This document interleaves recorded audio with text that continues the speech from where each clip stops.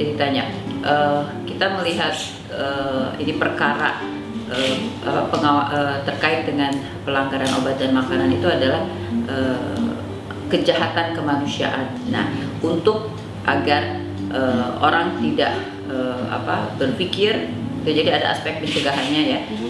Berpikir untuk melakukan pelanggaran tentunya harus ada uh, deterrent effect. Jadi ada efek jerak untuk mhm. setiap sanksi yang diberikan. Nah saat ini selama ini catatan yang kita lihat dari berbagai pelanggaran itu apabila sampai ke pengadilan biasanya uh, mendapatkan sanksi hukuman yang tidak sesuai dengan uh, apa uh, apa namanya uh, hukuman yang ada ya uh, ancaman hukuman yang ada di dalam undang-undang kesehatan ya yang mengatakan bahwa apabila e, orang memproduksi mengedarkan makanan yang tidak memenuhi ketentuan yang hmm. tidak memenuhi e, izin edar yang tidak melalui izin edar registrasi dulu dari Badan POM berarti itu barang ilegal hmm. adalah 15 tahun ancaman penjara hmm. tapi dalam kenyataannya e, tidak sampai seperti itu tidak ancaman tidak e, mendapatkan hukuman sesuai ancaman tertinggi hmm. paling hanya berapa enam bulan 8 bulan ada sih yang dua tahun ya nah, nah itu kan Nah, alhamdulillah kemarin ini yang terkait dengan vaksin palsu mm -hmm.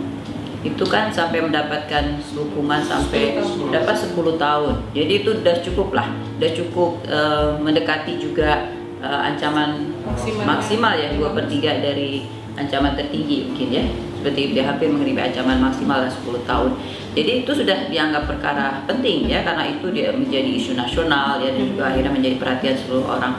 Nah itu selama ini adalah karena uh, apa sanksi hukumnya tidak karena tidak dianggap penting maka hakim memutuskannya juga uh, tidak sesuai dengan ancaman tertinggi. Dan selain daripada itu juga tentunya untuk bisa hakim memutuskan tertinggi bu alat-alat buktinya juga kan harus bagus ya harus baik. Nah sehingga untuk itu kejaksaan itu ya e, perlu kita membangun kemitraan yang kejaksaan sehingga e, jaksa penuntut umum bisa mendapatkan bukti-bukti ya yang didapatkan oleh para PPNS Badan POM itu e, cukup bukti yang baik sehingga bisa memberikan e, satu apa kasus yang yang apa yang e, dianggap perkara penting ya artinya dengan tuntutan yang tinggi oleh kejaksaan.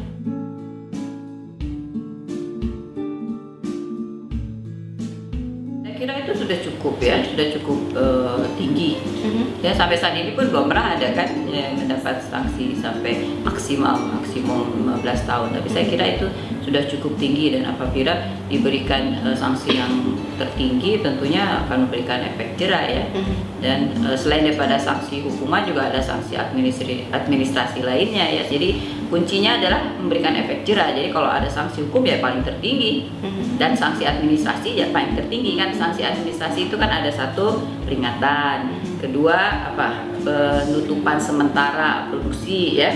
Nah yang paling tertinggi adalah cabutan izin industri dan itu uh, sebetulnya harusnya bisa dilakukan oleh Badan POM. Mm-hmm.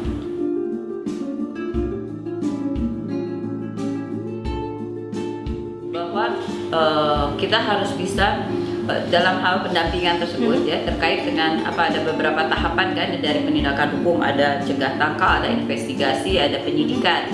Nah di dalam hal kita melakukan penindakan hukum itu kan ada uh, harus ada pemahaman tentang hukum tentang bagaimana mencari bukti-bukti yang benar ya kan? Cari bukti-bukti yang baik. Nah tentunya PPNS kami ya penyidik pegawai negeri sipil Badan POM perlu untuk uh, di juga uh, mendapatkan uh, terus peningkatan kapasitas yang terkait dengan apa uh, apa pengetahuan tentang hukum, pengetahuan tentang barang-barang bukti yang baik seperti apa sehingga pada saat jaksa penuntut umum itu e, meng, apa, menghadapkan ya menghadapkan kasus itu ke pengadilan bukti-buktinya tuh kuat. Baik nah di situlah e, dalam e, kemitraan ini jaksa akan mendampingi PPNS dari awal ya hmm. dari awal pertama tentunya adalah ada training ada uh, peningkatan kapasitas hukum hmm. ya tentang keilmuan hukum uh, dari PPNS kami terus kemudian juga aspek-aspek uh, apa informasi apa namanya uh, intelijen hmm. ya kan kejaksaan juga ada uh, apa ada aparat intelijennya berarti bagaimana mencari informasi yang kuat gitu ya terkait dengan bukti sehingga hmm. nanti dengan bukti yang kuat tentunya hakim tidak bisa lagi memberikan uh, apa uh, sanksi hukum yang lemah.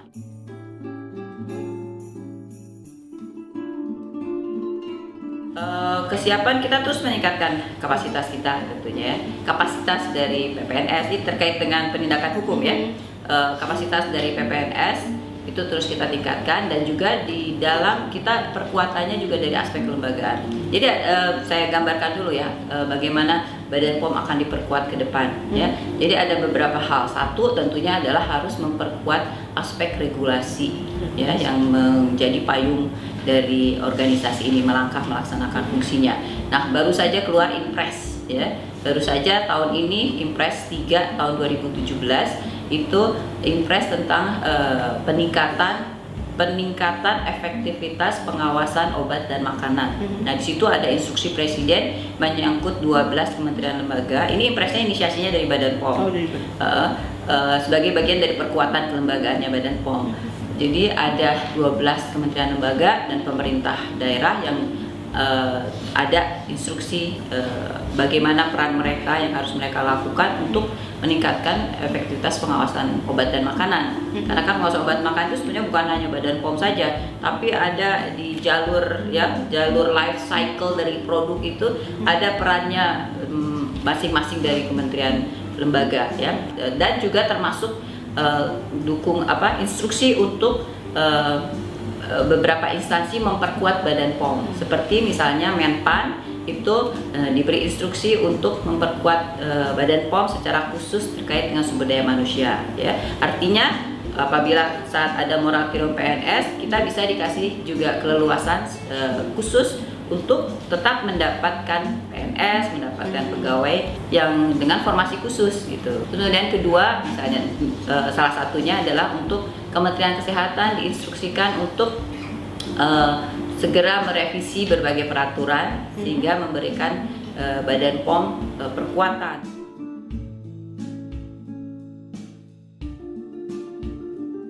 Ukur dari um, ini apa bahwa kemitraan itu ada hasilnya ya karena kemitraan kita dengan penegak hukum itu sudah uh, pertama adalah dengan kepolisian dengan kepolisian waktu itu kan uh, Kapolri dengan saya terus kita telekonferensi dengan seluruh Kapolda hmm. provinsi dan didampingi oleh Kepala Balai Badan POM. Kepala Balai POM itu kan ada di seluruh wilayah Nusantara.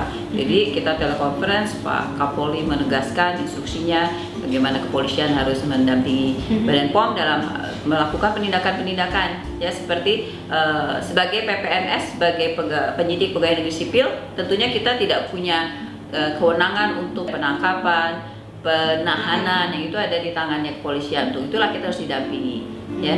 Nah, itu adalah juga dalam kaitannya dengan mencari bukti-bukti juga ya. Hmm. Kemudian itu pendampingan itu.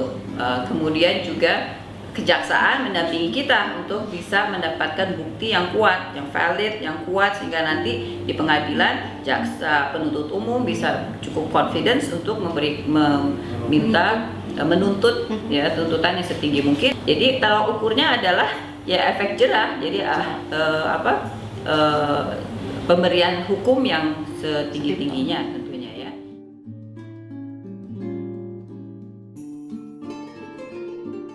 Ya, semakin beragam ya sekarang ya dengan adanya keterbukaan informasi, perdagangan internasional yang tanpa border ya, semakin itu akan semakin uh, apa modusnya semakin semakin beragam ya. Modus makin beragam penggunaan teknologi sehingga sekarang masa cyber ya cybercrime ya istilahnya cybercrime untuk perdagangan yang melalui online. Itu juga harus salah satu aspek uh, kejahatan yang juga menjadi perhatian kita ya karena melalui online itu uh, kalau apa kita tidak tahu kualitasnya ya kalau tidak melalui juga izin edar dari Badan POM jadi uh, sebetulnya kalau untuk obat itu dilarang untuk diperdagangkan. Salah satunya ya terkait dengan cyber online. Kalau melalui kalau obat itu dilarang karena obat apalagi obat keras ya.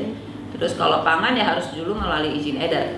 Tetap harus melalui izin edar. Jadi dibolehkan perdagangan dan dengan melalui online tapi harus melalui izin edar itu tetap ya. Terus kemudian juga kita sadari bahwa ancaman uh, bioterorisme itu pun harus menjadi perhatian kita ya karena e, siapa pun yang ingin me, merusak bangsa ini dengan mudah bisa memasukkannya melalui makanan. Misalnya sekarang sudah mulai menjadi kekhawatiran ya, walaupun bukti belum kita dapatkan, tapi kekhawatiran itu perlu terus kita waspadai adalah masuknya narkotika ya, e, narkoba e, melalui e, makanan anak-anak.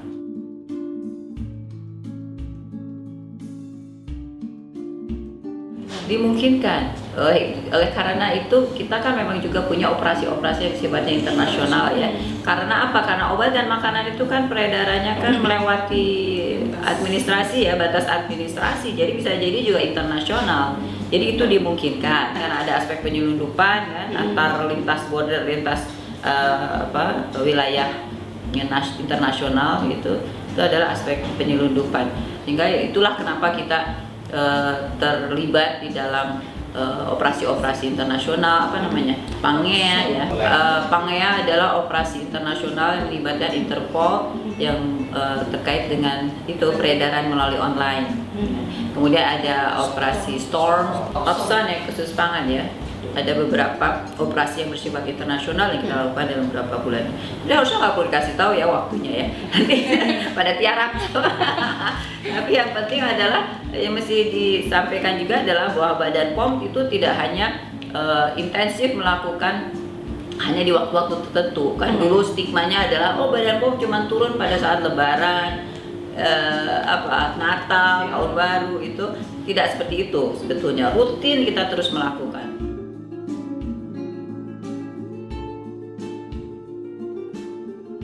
Jadi begini, mesti dipahami bahwa uh, izin edar itu adalah uh, bentuk uh, hasil dari suatu uh, itu apa? Izin edar itu adalah bukti bahwa dia sudah memenuhi standar uh, keamanan, standar kualitas ya dan standar nutrisi. Kalau makanan itu adalah pada saat kita menilai di awal ya pre-market.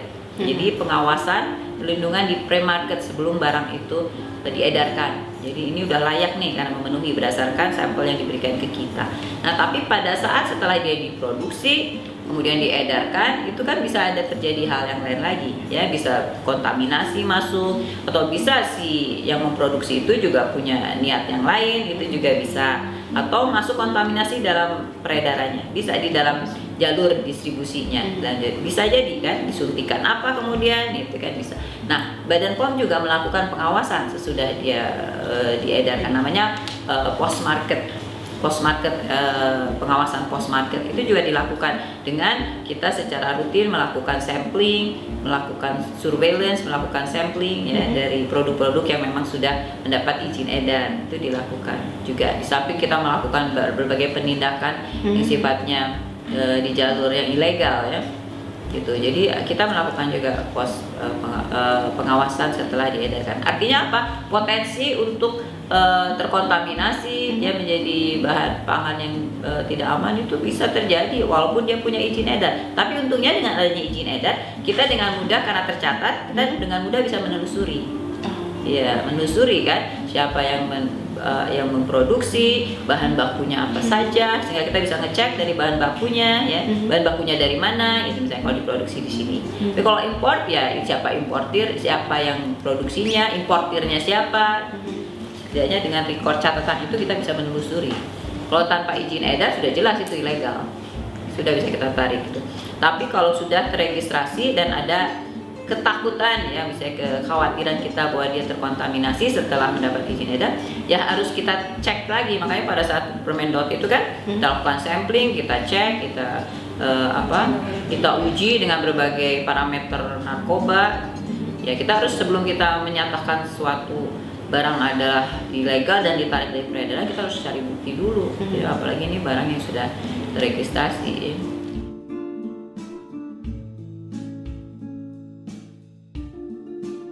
waspada dia pada saat uh, akan mengkonsumsi produk ya. Hmm. Kemudian itu cek klik itu ya waspadanya adalah dengan melakukan cek klik, cek kemasan izin edar dan uh, kalau narkoba itu kan sesuatu yang efeknya langsung ya sebenarnya ya. Kalau misalnya udah ada indikasi bahwa pada saat mengkonsumsi dan ada efeknya itu baru ya kalau narkoba ya kan pasti ada efeknya kelihatan. Nah di situ baru kita berwaspada segera laporkan tentunya ya di pada e, balai POM terdekat kepada kepolisian untuk kemudian kepolisian biasanya akan menyerahkan eh, sampelnya itu untuk diuji di Badan POM. Ya.